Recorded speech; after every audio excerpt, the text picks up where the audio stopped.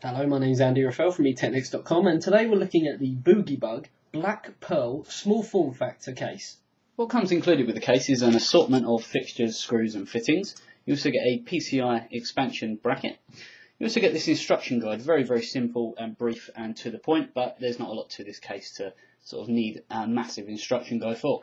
You also get a USB instruction guide which basically just tells you the various different headers and connectors that will connect up the various different functions on the front of the case. And you also get this different uh, fascia for the front. This one's silver, and obviously the one that comes with the case connected already is the black version. Taking a look at the front of the case, we can see that it's got this black fascia that we spoke about. You can also see that it's got two spaces for CD-ROMs, as well as a floppy drive or uh, some kind of a USB card reader, that kind of thing that you'd connect into the front of the case. Some of the connections on the front of the case, we've got two USB ports, a microphone and headphone port. You also get a FireWire port, a power button, and a reset button.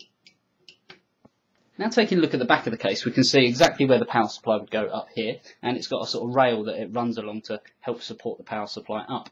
It's also got this huge fan which is going to help dissipate the heat out the back of the case, as well as all these ventilation holes along here. We can also see that it's got ventilated PCI expansion brackets and exactly where the I.O. panel shield plate goes. This one may need to be changed depending on your motherboard. It may have a various uh, different setup of connections, so you may need to change that, but the I.O. panel shield plate will come with your motherboard. Boogiebug have really tried to sort of style this case by adding lots of ventilation holes to it whilst maintaining the overall look. So we spoke about the back having quite a few ventilation holes. We can also see that on the sides it's got ventilation holes running almost from the back of the case to the front. So lots of heat is going to be dissipated out of all areas of this case. By flipping the case on the side we can get an overall look at exactly what's inside the case. So we can see that we have this sort of bracket bay here which obviously is going to hold your hard drives. We can also see exactly where the CD drives go and where the floppy drive would go along here. We can see the huge exhaust fan in the back and we can also see all the various different connections for the front of the case. Some of the connections include the audio, we have headers for the power switch, reset, hard drive LED, power LED and so on. And we also have some more connections here which are for the 1394 FireWire and USB. If, like me, you're constantly working on your computer, taking bits out, putting new bits in, obviously with us being a review site, I'm doing that day in, day out. You will want a case that's more sort of open plan, and this case is exactly that. Because once you've taken off the top, you can also take off the side, so you're left with a, a bare bone chassis. All you can see is the front of the case and the back of the case. So inside you can see exactly what we spoke about, where the hard drives would go, where the DVD drives would go, and also where the motherboard would go, they've also actually included the stops already in there. So this will take a micro ATX form factor motherboard, and you will notice that all the different sort of places and the points to mount the motherboard are in exactly the same place for every motherboard. So it's pretty much just get the case, get your internals, including your motherboard, CPU, memory, and off you go. There's not a lot to do. There is a couple of things that I would have liked to see in this case. Uh, I mean, you can unscrew all these various different brackets, but the PCI expansion uh, slots, I would have liked to see a screwless, uh, screwless design.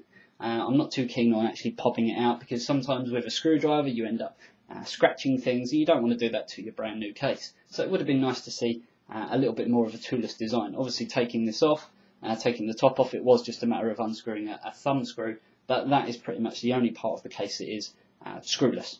Just taking another quick look at the back of the case, you can see that there's quite a few screws on here, some of them holding on to the fan, some of them being rivets to basically put the case together, but there's a couple which, one is here, one here, and one here, and also one down here. Once you unscrew that, the motherboard tray will actually come out, which obviously is going to help when installing things because it is quite a small form factor case. It's quite tight with these rails in, in here as well. So taking out the motherboard tray is going to be quite beneficial to get into the case and put your motherboard in because sometimes it can be quite tricky and quite fiddly. Now taking a look at the underside of the case, we can see that it's got these four feet to prop the case up. Obviously that helps with vibration properties, but also on these feet they have got rubber. Uh, so it's like a bit of a sponge, so obviously any vibrations, it's going to take that impact and it's not going to be a noisy case. We can also see that over here, there is a screw here and a screw down here. Once you actually take these screws out, the front bezel will actually come out and obviously you can put in that silver one that we showed you earlier on in the review. Now that you've actually seen the review, I just want to share some of my thoughts on the actual case. It is a small form factor case, but to be honest, I don't consider it really as a small form factor case. I consider Asus and Shuttle making the very small cases. Uh, I would class them as a small form factor. This is quite a bit larger, but not as large as a normal full size case. So it's something in between. There is a couple of gripes that I've got with the case. The first one is the fact that you have to use a low profile heatsink design because of the actual clearance between the motherboard tray and the actual rail which supports the uh, bracket for the hard drives and DVD drives. Um, so you do have to buy a specialist uh, heatsink for that. So this is going to obviously give you uh, quite a small criteria to work with. There's not many low profile heatsinks on the market. And the other gripe that I've really got with it is just the overall sort of feel of it. It doesn't feel fantastically built, especially the hard drive cage. Um, once we'd actually installed a system into uh, the case and decided to sort of see what it was like, there was quite a bit of vibration coming from the hard drive bay. So they're my only gripes with the case, but overall, it is quite a good product, and I'm going to have to give it 3 out of 5 stars.